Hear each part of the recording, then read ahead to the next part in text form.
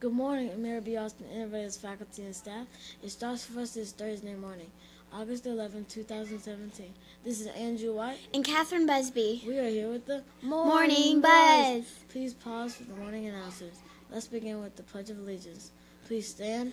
Attention, salute, pledge. I pledge allegiance to the flag of the United States of America and to the republic for which it stands, one nation, under God, indivisible, with liberty and justice for all.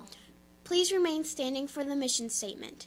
The mission of Mary B. Austin is to engage all students through relevant, individualized instruction that empowers students to take ownership of their learning and gain the skills necessary to think creatively, critically, and independently within a safe and encouraging learning environment. Now let's pause for a moment of silence.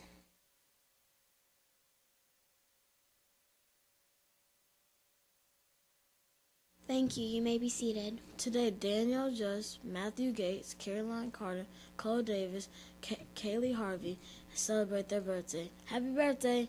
Please come to the office to receive your birthday pencil. This is what's baking in the bistro today.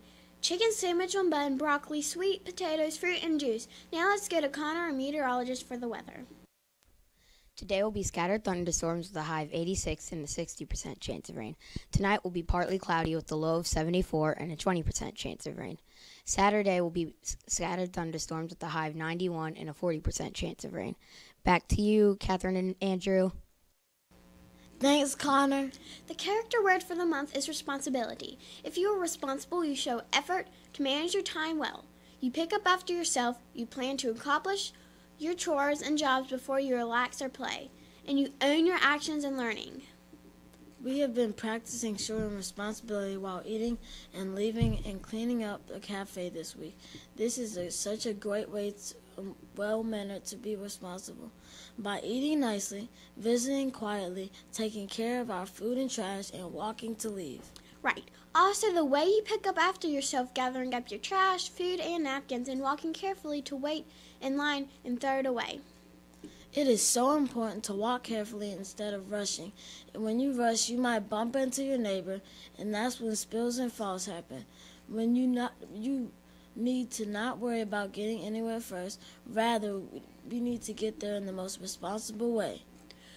So we need to walk carefully to a single file line and wait your turn before wa- walking up to put your tray on, on the counter and walking back to stand in line. These simple rules will help keep us orderly, safe, and spills and falls from happening. It shows responsibility in action.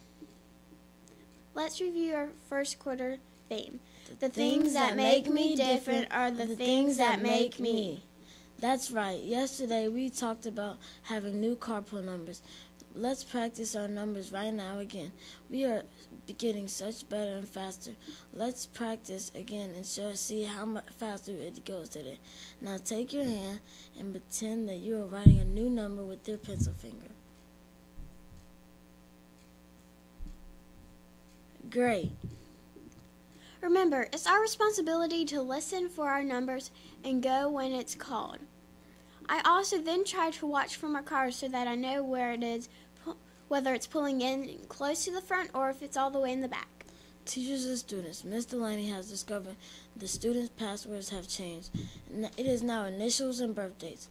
She will be printing new lists, so please be patient. Those who are bringing their devices and having trouble logging in, this is probably why. Please continue bringing your device, and these issues resolve quickly. Now let's recite the roots mottos. Respect, Respect ourselves and others, own our learning, own our actions, treasure our talents, serve our community. These are the roots to success. This has been the Morning Buzz. Have a fantastic Friday.